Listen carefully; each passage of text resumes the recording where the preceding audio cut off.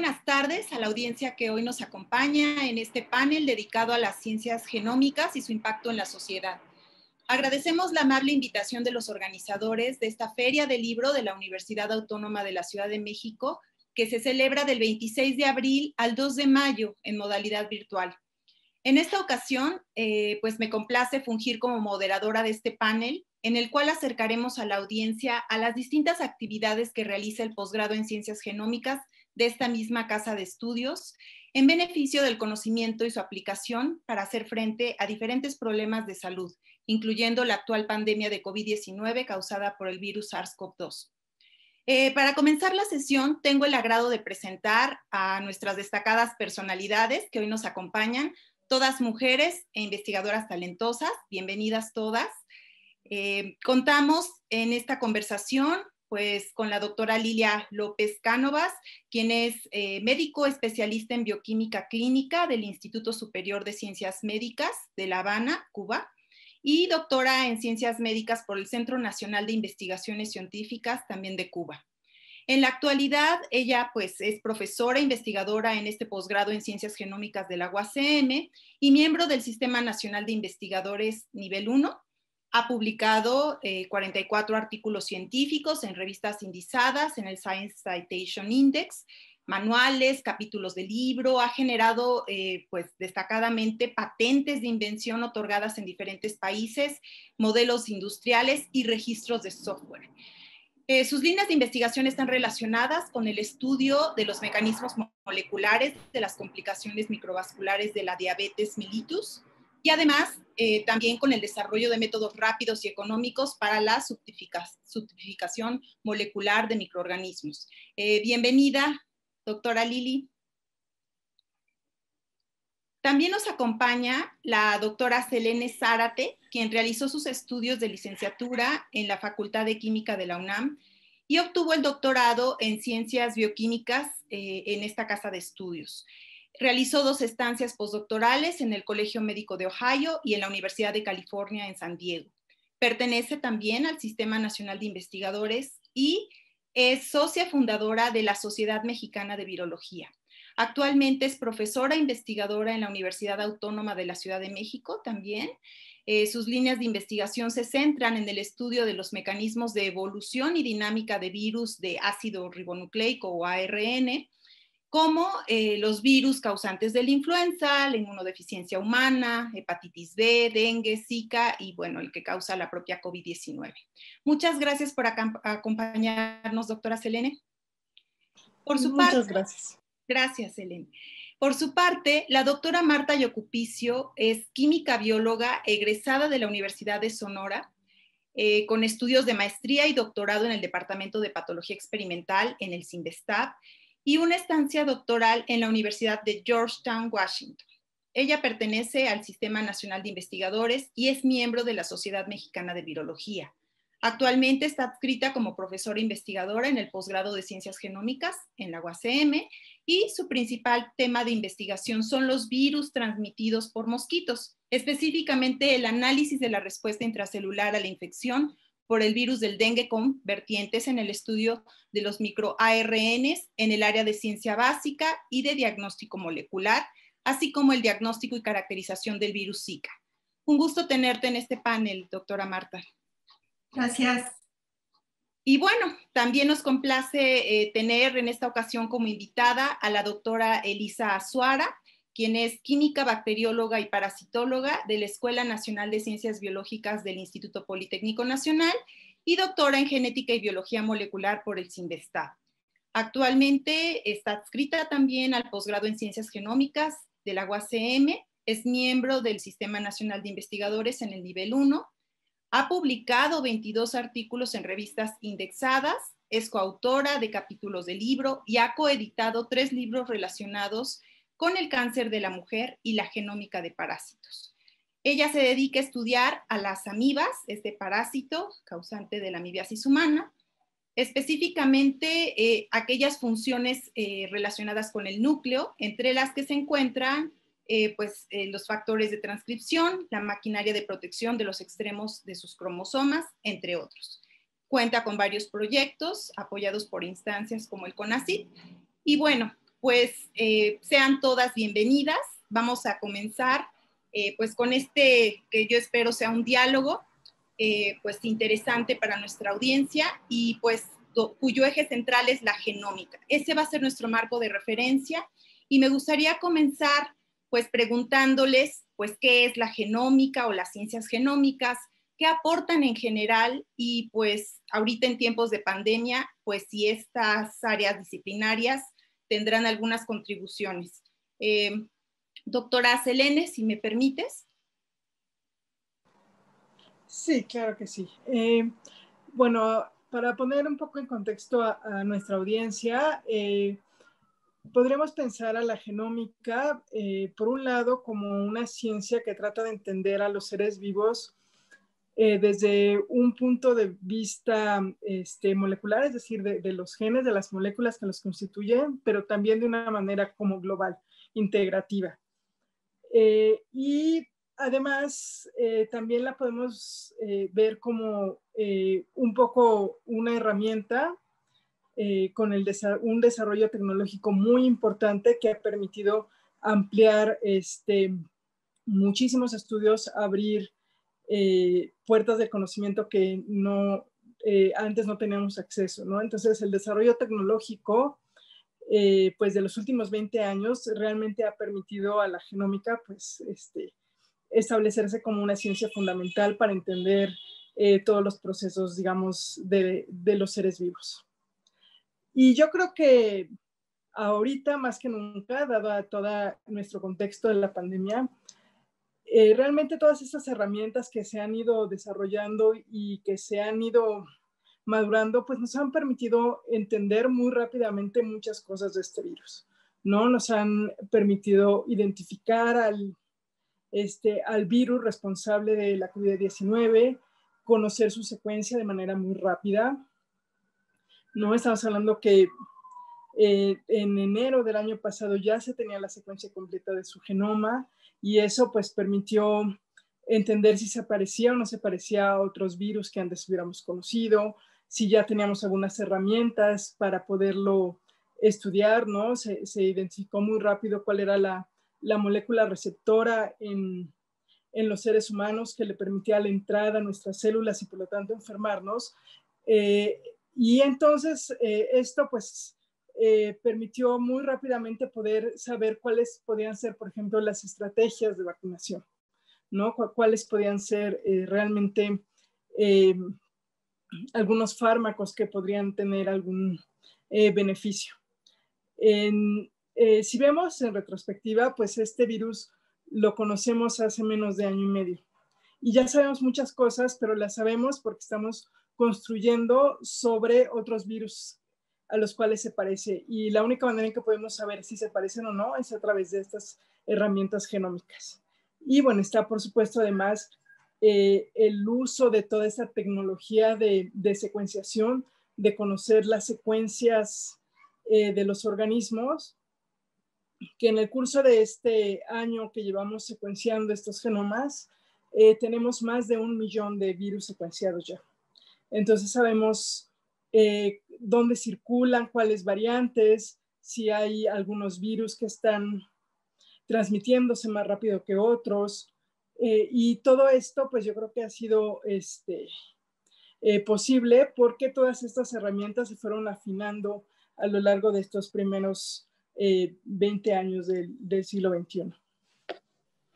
Muchas gracias, Selene. Pues bueno, está muy interesante tener este marco de referencia, ¿no? Porque es el que permite el desarrollo de líneas eh, de investigación y nuevos trabajos que sean pertinentes a las problemáticas contemporáneas. Entonces, eh, también al revés, creo que hay un impacto. Eh, en este caso, creo que hay retos que está imponiendo la pandemia a las actividades de investigación científica en general y sobre todo en el seno de las instituciones educativas. En este sentido, eh, ¿qué tendrías para comentarnos, eh, Lili, si nos pudieras platicar un poco cómo se vive en la UACM actualmente, eh, pues esta coyuntura entre hacer investigación y pues sobrellevar pues el encierro, el confinamiento, el no acceso a las instituciones como tal? ¿Cómo no? Muchas gracias, que ahorita tenía el micrófono cerrado y no pude agradecer cuando me presentaste. Pues sí, eh, con esta emergencia del COVID-19, el reto fundamental ha sido que hemos tenido que cambiar eh, la manera en que solíamos hacer las cosas. Y precisamente ahí es donde está el desafío de que cómo hacemos para proteger la salud, mantener el distanciamiento social, el confinamiento en algunos casos y a su vez asegurar la continuidad de nuestras investigaciones. Ese ha, sido el principal reto.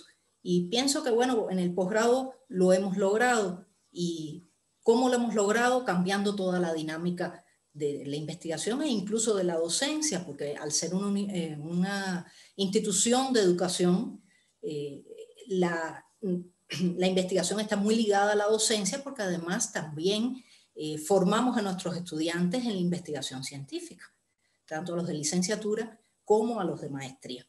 Entonces, eh, hemos tenido que, por ejemplo, reestructurar todos nuestros proyectos, cambiar las prioridades, eh, cambiar toda la dinámica.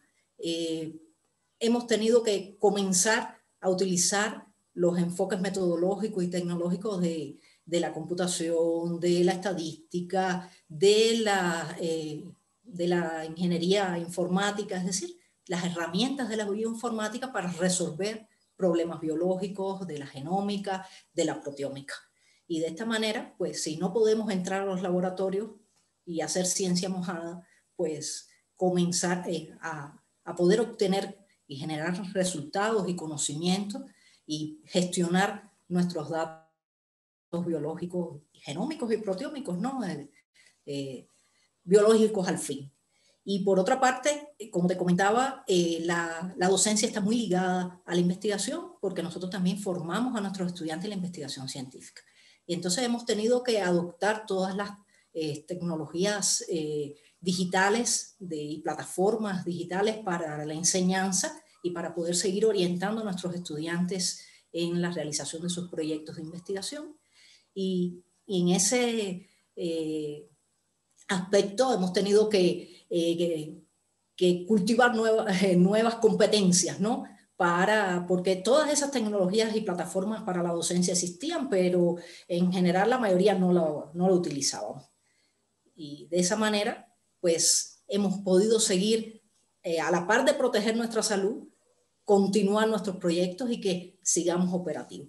Y esa es la parte de los retos, oportunidades, y, y se nos han, eh, también ha habido oportunidades, porque todos aquellos que se dedican a la virología, a la evolución molecular de virus, a la del desarrollo de métodos de diagnósticos, de vacunas, de medicamentos, han podido utilizar todo el conocimiento que se han ido generando durante años para incidir positivamente eh, sobre la epidemia. Y por otra parte, también se abren ventanas de oportunidades ¿no? en la investigación e incluso aquellos que no trabajan directamente en esos campos y que hacen otro tipo de estudio, por ejemplo, genética molecular humana, hasta tienen la oportunidad o hemos tenido la oportunidad de ver, por ejemplo, qué asociación pueden tener las comorbilidades que pueden tener los individuos, no sé, enfermedades crónicas no transmisibles en el curso, por ejemplo, de la infección por COVID-19.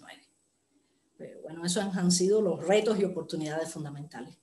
Sí, creo que lo interesante es cómo lo presentas, ¿no? Porque ante una situación crítica, pues hemos detonado la oportunidad. Eh, desde el entorno científico, pues nunca habíamos tenido los reflectores tan puestos, ¿no? Sobre, sobre la comunidad científica como ahora. Y bueno, también es muy importante eh, lo que estás poniendo sobre la mesa en relación con el uso de las tecnologías de la información y las comunicaciones, ¿no? Que hemos visto que también tiene sus pros y sus contras. Más adelante vamos a platicar sobre eso. Y precisamente hablando de este, eh, esta oportunidad de tener a la mano, al alcance, tanta información gracias a las tecnologías, al uso de la, de la Internet, etcétera, me gustaría comentar un poco sobre cómo se materializan las investigaciones. ¿no? Eh, ahorita ese intercambio de conocimiento, pues generalmente lo hacemos a través de las llamadas publicaciones. Entonces, a mí me gustaría que nos platicaran eh, cómo se lleva una idea, ¿no? un concepto, o como decías tú, Lili, un acúmulo de conocimientos ¿no? a una publicación y qué actores participan. Entonces, eh, Eli, no sé si nos pudieras platicar un poco, ¿no? ¿Quiénes participan en la UACM de la generación de, estas investigaciones, los resultados, ¿no? ¿Cómo los plasman hacia la sociedad? Muchas gracias, Ceci. Pues también muchas gracias por la presentación. Tenía también el micrófono apagado y no fue posible agradecerte. Y bueno, pues muchas gracias a todos mis colegas que están aquí participando en esta, en esta sesión. Pues sí, o sea, el empleo de estas herramientas nos han permitido llegar a, revisar ¿no? Lo, lo, que está escrito en los genomas de estos organismos. ¿no? En mi caso específicamente yo no trabajo con virus, pero trabajo con parásitos. Entonces nos permite tener, abrir una ventana y poder visualizar segmentos de sus genomas que pudieran tener alguna relación con eventos relacionados con su virulencia o con alguna situación que permitiera empezar a identificar nuevos blancos farmacológicos, ¿no? Entonces ahí empiezan a generarse estas ideas que, que uno a través de lo que se conoce en otros organismos podemos hacer comparaciones con el organismo que estamos estudiando y empezar a buscar si esos mismos segmentos que están en, en Saccharomyces, que son levaduras, que son organismos modelo, se encuentran también en nuestros organismos y si como algunos otros segmentos pudieran estar relacionados con cuestiones que los hacen virulentos, es decir, agresivos. Entonces, básicamente esas ideas nosotros las vamos generando en, en nuestra mente, las vamos plasmando en hojas pero uno de los actores más importantes que, participan en estos proyectos son nuestros estudiantes, tanto de licenciatura como de maestría y doctorado. ¿no? Nosotros generamos ideas que ellos a través de sus procesos de aprendizaje, a través de las asignaturas que tienen, pues entonces empiezan a aplicarlas, ¿no? Eh, tenemos cursos de bioinformática, tanto la licenciatura en ciencias genómicas como en, en el programa de maestría, tenemos cursos de evolución. Entonces esas herramientas, regresando un poco a esta que, que ha sido la guía, que son las herramientas bioinformáticas, pues van consolidando un perfil bastante interesante y que les apoya mucho a los estudiantes. ¿no? Entonces, sobre eso, los chicos pueden empezar a hacer búsquedas, pueden empezar a interesarse en estos segmentos, que pueden ser de cualquier organismo o de cualquier célula que esté alterada, y a partir de eso, pues empezamos a generar eh, resultados eh, o ideas, ¿no? Tanto ideas que se generan a, a través de las búsquedas bioinformáticas y bueno, ahora en este proceso de encierro es lo que yo les digo a mis alumnos, cuando podamos regresar vamos a tener como mejores ideas, mejores segmentos ya mucho más validados por estos análisis informáticos. Una vez que podemos probarlos en el laboratorio y podemos reproducir esos resultados, pues se van generando esto, estos datos que podemos armar en estas publicaciones científicas que son importantes tanto para la difusión del trabajo que se hace a nivel académico y bueno, pues para poder este, difundirlos ¿no? a nivel social, que ahí es donde tenemos un poquito de que, que, hacer mucho más trabajo, ¿no? Y bueno, todo este trabajo que se hace para poder generar las publicaciones, pues también hay colaboraciones con otras instituciones donde podemos apoyarnos con equipos más especializados o con colaboraciones que van enriqueciendo nuestro trabajo. Y básicamente eso es lo que nutre eh, el trabajo, pero sí quiero destacar el papel tan relevante que hacen los estudiantes que se incorporan a nuestros proyectos y que básicamente son los estudiantes que están en nuestros programas de licenciatura, maestría y doctorado. Muchas gracias. Sí, no, gracias, Eli. No, pues sin duda el talento joven, ¿no? Se hace necesario para poder ir avanzando en la generación de nuevo conocimiento, pero también eh, requerimos, ¿no? La guía de la gente ya consolidada como son ustedes, las investigadoras de la UACM. Eh, también, eh, bueno, nada más para regresarme un poquito, Eli, no sé si nos puedas comentar, hablaste de bioinformática, pero bueno, a lo mejor muchas integrantes de la audiencia no están tan familiarizados con la bioinformática. ¿Algunas aplicaciones que pudiera tener la bioinformática, no sé, en el estudio de fármacos, el diseño, alguna cosa que nos pueda referir con un poquito mayor de detalle? Pues bueno, desde aquí la, experta en bioinformática pues es la doctora Selene, de, ella hemos aprendido mucho los que nos formamos más en un campo de biología molecular. Pero bueno, desde, lo que yo aplico hacia los parásitos, pues es el poder identificar estos segmentos de, los genomas y poder buscarlos en los parásitos. Entonces, una vez que tengo ese segmento, poder determinar qué tanto se parecen o qué tanto son diferentes, ¿no? Y entonces eso nos permite poder agruparlos en familias y, empezar a analizarla. También estos, estos mismos programas bioinformáticos nos permiten identificar, por ejemplo, residuos de aminoácidos que son muy importantes para las funciones biológicas. Y también eh, eh, nosotros estamos ahora utilizando programas bioinformáticos para poder emular las interacciones entre pedazos de DNA y proteínas, ¿no? Y empezar a abordarlo desde esa perspectiva, dado que en el laboratorio, pues por ahora no podemos hacerlo, ¿no? Entonces es un sinfín de aplicaciones yo creo que los estudiantes es un, punto de oportunidad muy importante. ¿No? que enriquezcan sus conocimientos y que puedan generar, eh, aprender herramientas, sobre todo de programación, que es algo que sería muy necesario para hacer estos análisis de información masiva, ¿no? y que, como dice Selene, pues han sido muy relevantes para poder tener conocimientos rápidamente sobre este virus. ¿no? Sí, Sí, y sobre todo ahora con las variantes, ¿no? También la aparición de las variantes nos lleva a conocerlas. Si no conocemos lo que está circulando, pues estamos en mayor riesgo. Y bueno, regresando a, esta, a este tema de las publicaciones, eh, pues no sé, Cele, si pues nos pudieras añadir sobre lo que comentaba Elisa en temas de bioinformática, dado que tú eres la experta, y si además nos pudieras comentar un poco cómo se están dando actualmente estas colaboraciones, o desde antes inclusive, interinstitucionales en la UACM, ¿no? Ustedes cómo están trabajando entre ustedes, hacia afuera con otras instituciones, y todas son este, pues, de carácter educativo, si están haciendo investigaciones conjuntas. Eh, ¿Qué nos podrías platicar? Eh, sí, claro. Eh, a lo mejor eh, quisiera yo, yo partir de nuevo, ¿no? Con, con la idea de que todo el mundo nos siguiera.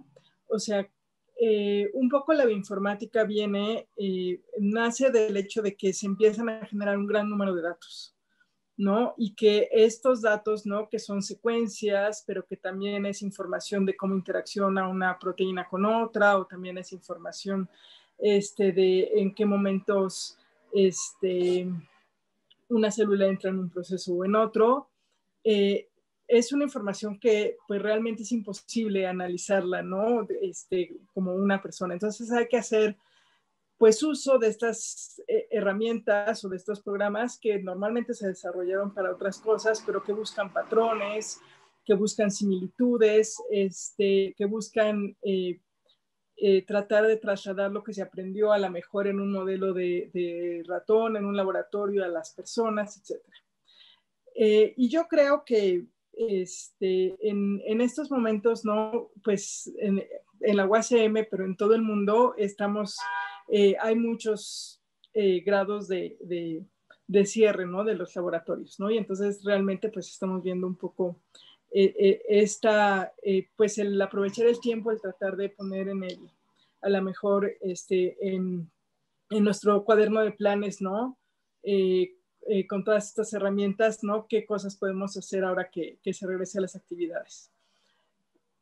Pero como mencionaba Elisa, ¿no? la investigación y sobre todo la investigación científica en esta área que es como biológica y biomédica es un, este, e, e, es un trabajo en equipo.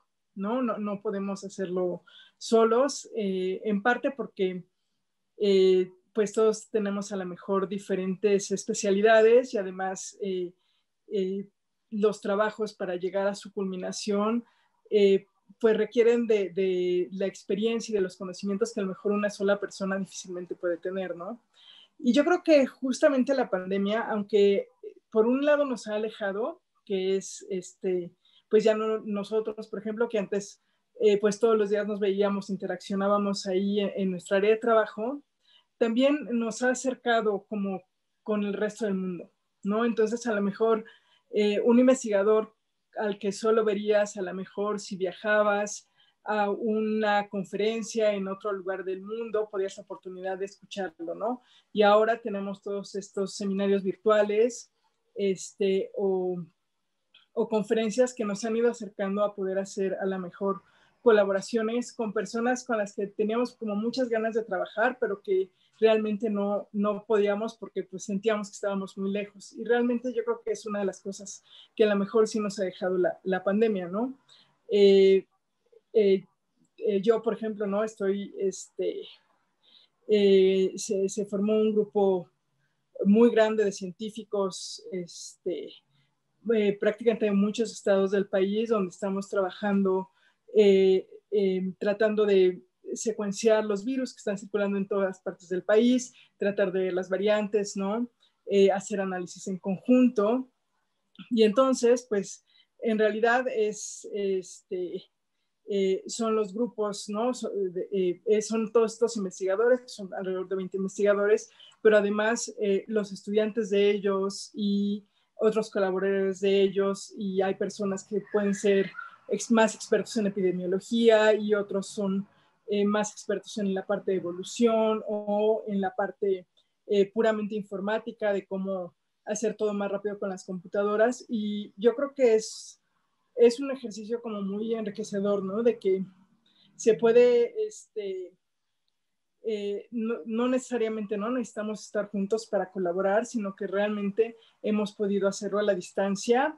Eh, tiene eh, su grado de dificultad, ¿no? Este, quizá sobre todo con, con los estudiantes que están apenas en formación y a lo mejor no es, no es tan fácil enseñarles las técnicas a distancia, pero ciertamente les da una experiencia de poder a lo mejor comunicarse con un investigador que esté en otro país para poder hacer estas, este, para poder guiar su trabajo. Muy bien, no, pues muy interesante. realmente, como dices, la, pandemia, a pesar de todo, nos ha acercado, al menos en el entorno científico, ¿no? Y bueno, qué bueno que, que esto resulte eh, de estas colaboraciones multidisciplinarias. Al final nos estamos complementando.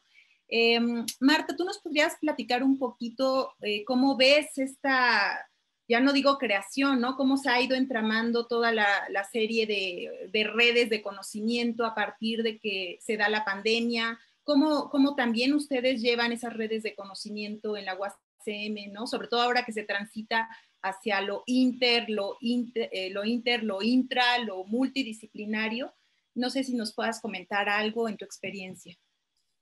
Sí, claro, este, realmente eh, Sí, eh, yo he trabajado con redes de investigación desde hace, desde hace tiempo. De hecho, una de las oportunidades que tuvimos para incursionar en esta colaboración con otros investigadores del país e incluso de la misma Ciudad de México fue en, en, el 2009 con la influenza. Ahí se empezó a interaccionar con otros virólogos. En este caso yo trabajo virología, lo mismo que la doctora Selene. Entonces, en, en este caso nosotros eh, empezamos a, a, colaborar con otros investigadores del país, como te digo, incluso con investigadores de otros lugares del mundo de manera más cercana y esto nos dio la oportunidad de formar una red, la Red Mexicana de Virología, y posteriormente esta se convirtió en la Sociedad Mexicana de Virología, en la cual eh, los investigadores eh, nos reunimos para fortalecer la investigación y la innovación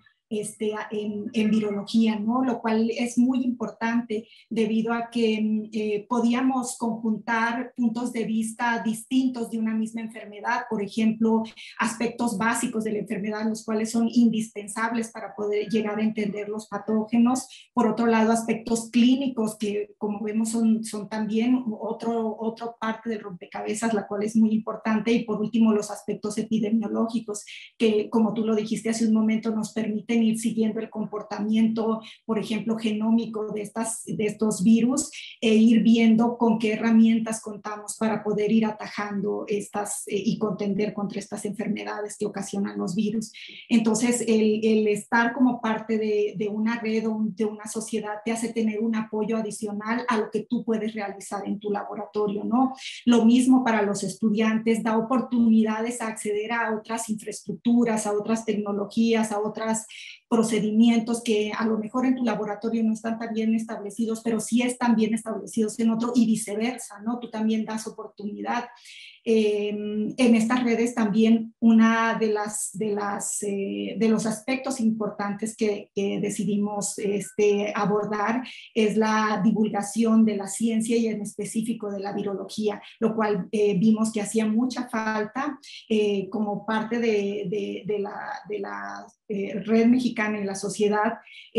Tanto la doctora Selene como yo estuvimos involucradas en la difusión desde el principio haciendo videos animados para la educación en virología los cuales están disponibles de manera gratuita en un sitio de YouTube. Y después empezamos a, este, hacer... Um, unos libros para niños, una serie de libros que tienen un protagonista que es Pablo, este, y, en este caso esto es para eh, educar a los niños, a los profesores, a los papás, darles herramientas para que expliquen eh, qué son los virus, cómo funcionan, cuáles son las maneras que tenemos de protegernos eh, para protegernos de estas infecciones, como pueden ser las vacunas, como pueden ser los medicamentos y las diversas medidas sanitarias que nos ayudan a a protegernos contra las infecciones. Entonces, creemos que la divulgación este, es, una, es una herramienta muy importante en, eh, para la educación y para empezar a, motivar a, los, a las personas a que, que tengan esta,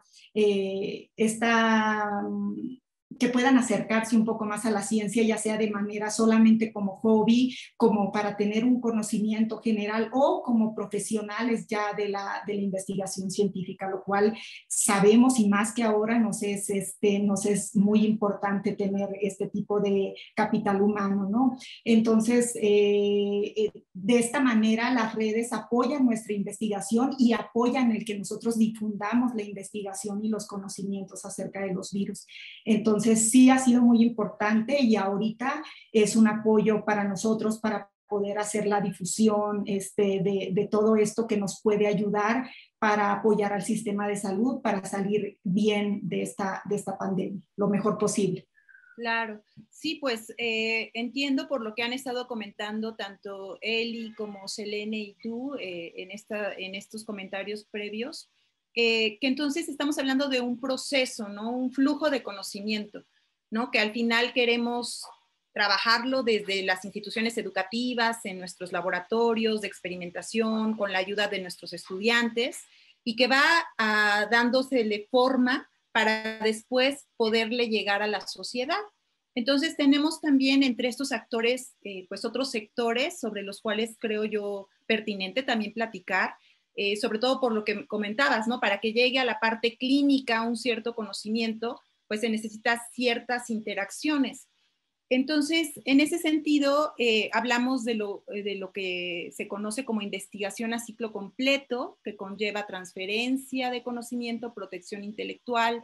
Lili, ¿nos podrías platicar un poco de esto? Sé que tú tienes experiencia en este campo muy amplia y bueno, en Cuba se hace mucho, ¿no? Este, transferencia de conocimiento, transferencia de tecnología. Eh, con base en esto, ¿nos podrías platicar cómo se hace, ¿no? Este proceso. Bueno, sí, este proceso que, que mencionaste como ciclo completo es a lo que se refiere a, eh, a generar conocimiento, después hacer un desarrollo tecnológico, es decir, generar un producto o un proceso productivo o modificar alguno que ya exista y eh, a partir de eso, pues ya hacer una innovación. Y realmente nuestras universidades eh, debieran evolucionar hacia la investigación de este tipo de ciclo completo, por varias razones, porque nuestra cantera fundamental son, son los jóvenes, cuales eh, jóvenes al fin tienen su mente abierta, son talentosos, llegan con muchos deseos eh, de, de aportar Así que tenemos un capital humano realmente importante para que poder contribuir a este tipo de investigación. Y, pero realmente eh, esa, investigación a ciclo, completo lleva, como se mencionó ahorita, de, muchas eh, eh, relaciones o digamos colaboraciones y de apoyo, porque necesita de financiamiento, de mucho financiamiento que tiene que ser institucional, gubernamental, iniciativa privada, no sé, de, de, cualquier, puede provenir de cualquier vía.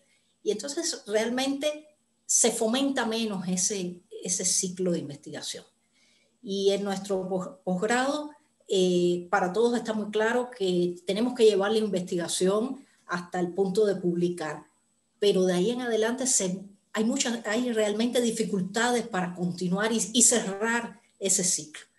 Sí, como se mencionó, hay colaboraciones, hay redes, hay interacción con la parte clínica, pero no es suficiente. Ese, esa parte realmente, es decir, hasta ahí no es suficiente como para cerrar el ciclo de la investigación. Y en este periodo, pues bueno, ha, sido aún más complicado porque algo que, que hace mucha falta para hacer investigación de ciclo completo es la financiación una buena fuente de financiación, porque para poder innovar necesitamos el financiamiento y a su vez innovar significa generar conocimiento para generar dinero después, ¿no? Claro. Pero, Y, y, es lo que, y es, es, importante porque eso es lo que nos va a diferenciar del resto, diferenciar de la competencia, es la que nos va a permitir incidir sobre eh, la calidad de la salud, la calidad de vida de los individuos, es decir, en la comunidad, llegar a la comunidad y, y, y poder eh, potencialmente, ¿no? Sería quien, quien nos pueda eh, eh, facilitar el, el, avance social. Claro. Y las universidades es, es, la mejor cantera para eso, pero necesitamos más financiamiento, la verdad. Sí, sí, lo hemos visto, ¿no? Con el tema sobre todo de vacunas, ¿no? Hablamos de que en México teníamos esa capacidad de producir vacunas hace, pues, un par, bueno, varias ya décadas, ¿no? y ahorita pues esa, eso nos ha llevado a la dependencia ¿no? tecnológica sobre todo. Eh, sería muy importante reactivarlo, ¿verdad? ¿No? Y, y, que el problema detrás de todo eso no es el, eh, la capacidad ni el, no es el capital humano, claro. es precisamente eh, el financiamiento que hace falta. Sí, y la articulación quizá también un poco. También, también. Mucho. Muy bien, pues eh, creo que vamos bien, espero que la audiencia esté tomando nota de, de, estos apuntes que han estado realizando. Eh, me gustaría entrar un poco eh, al tema de los logros más importantes en la labor científica de ustedes, ¿no? En sus líneas de trabajo, en cuanto a todo lo que han generado en conocimiento, en publicaciones, conocer de ustedes, pues cuáles han sido sus principales contribuciones, ¿no? A la sociedad, al conocimiento, a la formación de talento, ¿no? ¿Qué, ¿Qué, tanto han aprendido? Entonces, no sé quién quiera comenzar para platicarnos un poquito sobre su experiencia en este sentido. Pues si quieren inicio, este, en, en, mi laboratorio se desarrollan eh, líneas de investigación relacionadas con, la, con los virus, ¿no? Y yo trabajo virus transmitidos por artrópodos, especialmente por mosquitos, el, el, trabajo con el virus dengue y el virus Zika. Entonces, pues realmente eh, en el 2014-2015 tuvimos también una oportunidad muy importante de incidir este, pues en, en encontrar algunas este, maneras de contender contra la infección con el, con el virus del Zika, sobre todo eh, hacer investigación acerca de, de, Zika, dado que yo trabajaba antes de eso con, solamente con el virus del dengue y después este, empezamos a trabajar con el virus Zika, eh, viendo también una emergencia este, a raíz de la infección por este virus y también por el virus chikungunya unos meses antes. Entonces fue una situación bastante difícil, este, dado que pues ponía retos, ¿no? Para conocer cuáles eran las maneras en las que este virus estaba eh, a, eh, haciendo una, una emergencia de salud en, en, el país y especialmente para las mujeres embarazadas, ¿no? Como se vio posteriormente y los niños que nacían de, estas, de estos embarazos. Entonces, eh, ahí nosotros, además de seguir estudiando el virus del dengue, que, que había sido y sigue siendo un problema este, endémico en nuestro país, eh, nosotros eh, hemos estudiado desde hace tiempo la respuesta intracelular a la infección por estos virus, ¿no? La biología molecular de esta respuesta intracelular como potenciales blancos terapéuticos a futuro, ver en qué sitios, en qué lugares de esta, de esta multiplicación de los virus puede ser, eh, puede, cuáles de estos sitios pueden ser susceptibles de intervenciones terapéuticas, lo cual es muy importante, como lo vemos ahora, el contar con este, antivirales específicos, específicos para cada virus, para, para poder apoyarnos en la terapia, ¿no? Este, además, obviamente, de contar con una vacuna, la cual incluso en el, en el caso del virus del dengue tampoco se, ha, se, ha, se tiene una vacuna que sea completamente eficiente y buena para tanto para niños como para adultos, ¿no? Entonces, esa es un área de oportunidad importante y nosotros lo estudiamos desde el punto de vista básico, ¿no? Eh, viendo la respuesta intracelular ante esta infección. Como segundo punto, también hemos este, hecho aportaciones potenciales a los métodos de diagnóstico este, y con especial interés en el diagnóstico temprano de infecciones graves.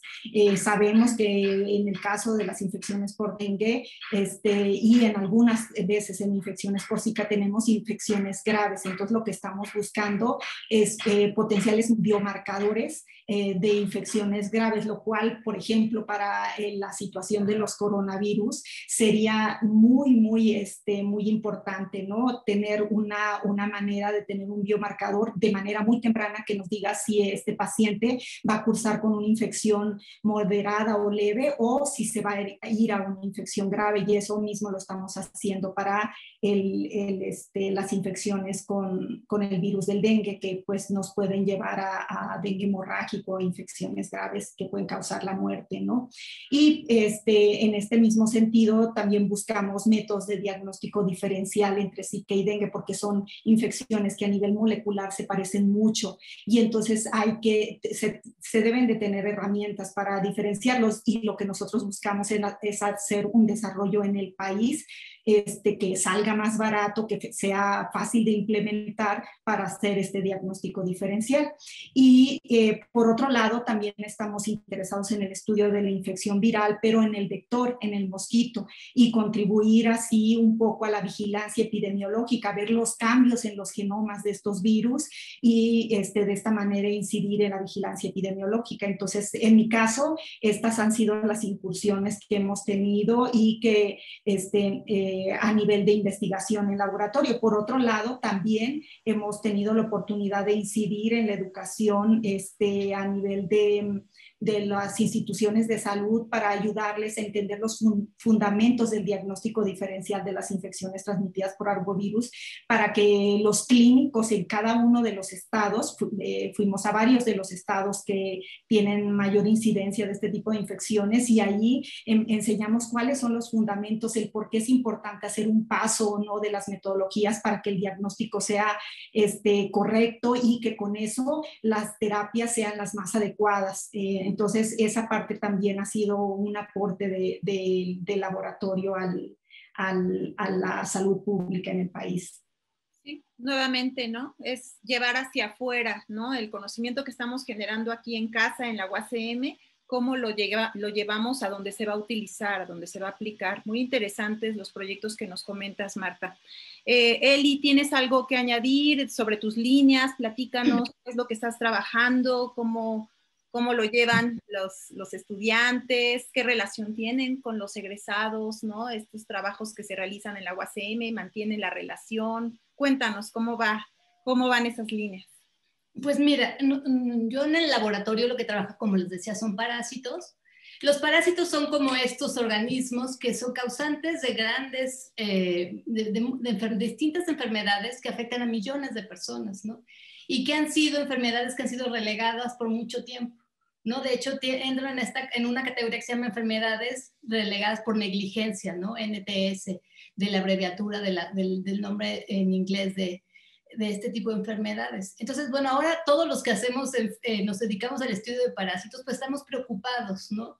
Preocupados en, en, aspectos como que muchos del financiamiento que en este momento se va a existir va a estar relacionado al estudio de los, de, de los virus, porque son los que están causando esta pandemia. Van a volver a quedar de lado estas enfermedades que van a seguir prevaleciendo y sobre todo que están muy ligadas a la pobreza, Entonces, es, eh, estas, estas enfermedades producidas por parásitos tanto unicelulares como por nemátodos o céstodos, pues además quedaron relegados en el sentido de la secuenciación porque son genomas enormes que costaba mucho dinero secuenciar, ¿no? Entonces ahora ya hay información acerca de los genomas, específicamente de la amiba, pues se le dio prioridad por el tipo de, o la cantidad de, población que afecta y porque es prevalente en estas ciudades donde existe pobreza, donde hay eh, restricciones en cuestiones de agua potable y además en, ciudades como la Ciudad de México que hay mucho consumo de comida en la vía pública, entonces es un parásito que va a seguir prevaleciendo, ¿no? Nosotros estamos interesados en estudiar sus mecanismos moleculares, pero específicamente en funciones nucleares. Y para no extenderme, lo que, eh, lo que quería contarles es un poco de un proyecto que nos acaban de aprobar en la convocatoria Fronteras de la Ciencia en CONACYT en el 2019, que es en colaboración con investigadores del CIMBESTA y que justamente lo que quiere ver son los mecanismos cotranscripcionales que van a regular eventos que son importantes para el parásito, como es la virulencia y el enquistamiento. Entonces, a partir de las diferentes visiones, un poco para retomar este trabajo que se hace en redes, es la visión de estudiar ciertas proteínas que activan o apagan genes en la amiba, Después, el, el, cómo están en el contexto de la cromatina, que es la parte que hace uno de los investigadores, el doctor Mario Rodríguez, allá en que tiene que ver cómo la cromatina está más abierta, más cerrada, y eso hace que se enciendan o se apaguen los genes. Y luego la parte del procesamiento que ocurre, que es eh, eh, en el caso de la parte de, del doctor Valdés. ¿no? Entonces, todo este nuevo proyecto que nos tiene muy entusiasmados, pues es lo que vamos a estar trabajando. Ahorita estamos trabajando mucho con ideas y con análisis bioinformáticos para que en cuanto podamos regresar al laboratorio, pues podamos empezar a, obtener los datos que, que, que, nos propusimos, ¿no? Encontrar. Y bueno, pues básicamente eso es lo que estamos haciendo. Este es como un logro mucho más reciente para, para mi grupo de investigación el haber podido obtener este financiamiento y donde estoy eh, contenta de que se integren estudiantes, ¿no? Y bueno, pues en ese sentido le daría las palabras a, a mis colegas. Bueno, pues ahora sí que estamos platicando muy sabroso, pero bueno, también tenemos un tiempo finito para, para estar platicando y a mí me gustaría ir cerrando con esta interacción entonces que tiene el agua CM, ¿no? ¿Cómo se ve el agua CM este, a futuro? ¿Qué acciones han realizado recientemente? Por ejemplo, lo que comentaban Selene y Marta en relación con eh, el combate a la infodemia, con, base en las redes sociales, ¿no? Estos videos, esos materiales, y que pues me hagan un comentario alrededor de esta educación o cultura científica que necesitamos para ir redondeando y nos quedemos con ese mensaje para la audiencia, por favor. ¿Alguna de ustedes? Cele. Sí, si quieren, este, yo empiezo.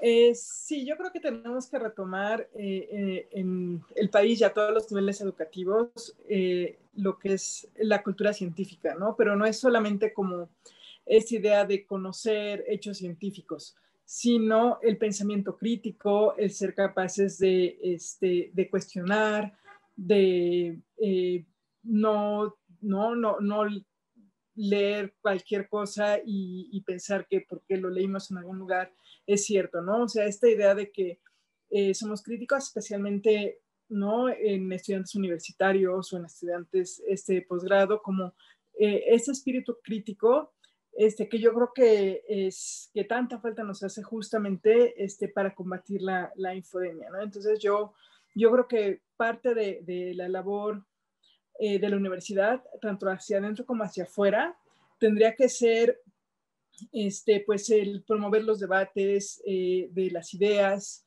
eh, el, espíritu crítico, también el enseñar a, los estudiantes este, cómo usar argumentos, ¿no?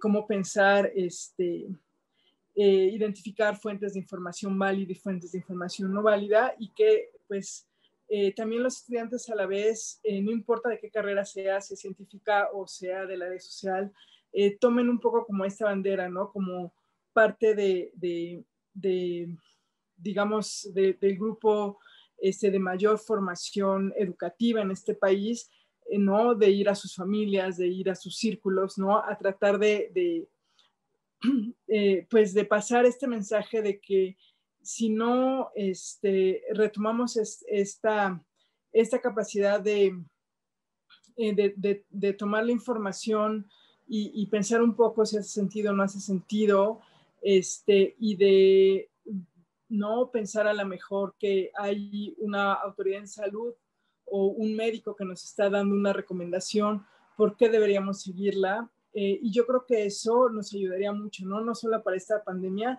sino para muchos retos que pueden venir en el futuro.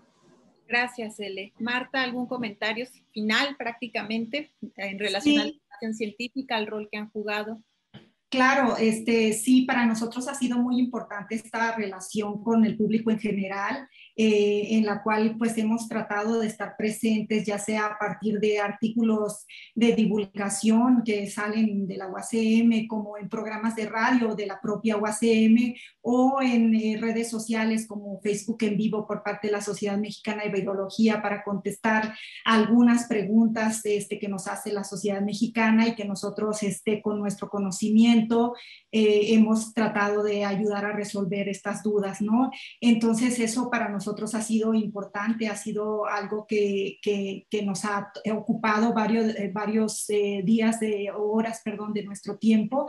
Y entonces eso ha sido importante. Por otro lado, además de esta, de esta parte que dice Selene, ¿no? En la educación y en la manera en que es, nuestros estudiantes pueden pueden aportar hacia la sociedad y que nosotros a su vez aportamos a los estudiantes, es esta parte que también nosotros podemos aportar, que es conocimiento e innovación en el área de la virología y las ciencias genómicas, lo cual también considero que es importante, ¿no? O sea, por una parte la educación y la formación de estos estudiantes y por otro lado nuestra parte de investigación que también puede contribuir con un granito de arena. Y una parte muy importante que la universidad nos permite es hacer esta divulgación y, este, y, este, y esta ayuda que, que podemos aportar para el eh, ayudar en las preguntas y dudas que tenga el público en general acerca de esta infección viral u otras que vengan, ¿no?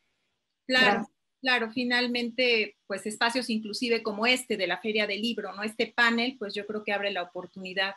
Eh, no sé si tengan algo que añadir, este, Lili o Elisa. Bueno, eh, reiterar que lo más importante en esta época de, la proliferación de redes sociales y de información en todas partes es la educación.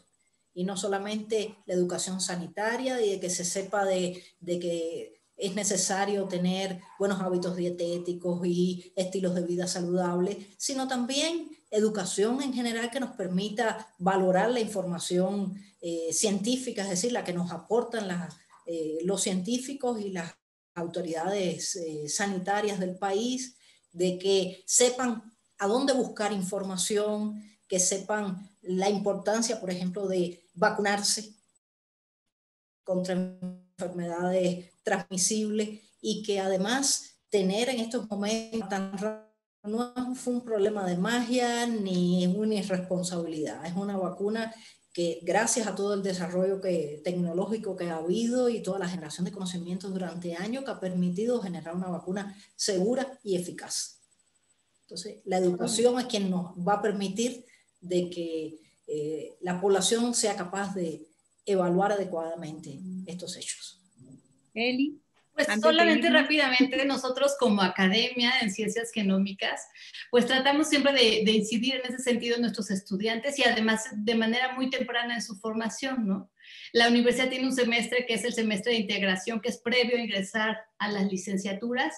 Nosotros tenemos un taller de introducción a las ciencias de la vida y también hemos sido muy enfáticos, ¿no? Desde estos chicos que recién egresan de la preparatoria y que antes de que empiecen la licenciatura, pues darles este abordaje de la importancia de las ciencias y la apreciación de estos procesos biológicos y básicamente ahora en este, en estos, en este momento de pandemia pues hicimos mucho énfasis para que tempranamente entendieran la biología molecular del virus, que entendieran conceptos muy básicos que tenían que ver con vacunas, con la interacción del parásito a su célula. Entonces creo que eso es muy importante y es parte del trabajo que, que hacemos los profesores de la Academia en Ciencias Genómicas incidiendo en varios niveles de la, de la educación de nuestros estudiantes. Pues muy bien, creo que hemos dado un panorama muy, muy claro de lo que se hace en este posgrado en ciencias genómicas. Yo les agradezco muchísimo el tiempo que se tomaron para, pues, para platicarnos sobre el posgrado, sus actividades, sus contribuciones. Y creo que en el cierre, pues tendríamos eh, que dejarle el mensaje a nuestra audiencia de que pues gran parte de la respuesta ¿no? a los problemas este, que, estamos enfrentando, no nada más de salud, ambientales y otros más, pues está en la ciencia. Entonces, acerquémonos a la ciencia y bueno, bueno, pues también quien se dedique a ella, pues bienvenido, ¿verdad? Estamos en esto. Eh, pues muchas gracias, chicas, eh, doctoras, talentosas, investigadoras de la UACM. Y bueno, con esto damos por concluido este panel. Les agradecemos a la audiencia que nos hayan acompañado y a los organizadores de esta feria del libro de la. Buenas tardes.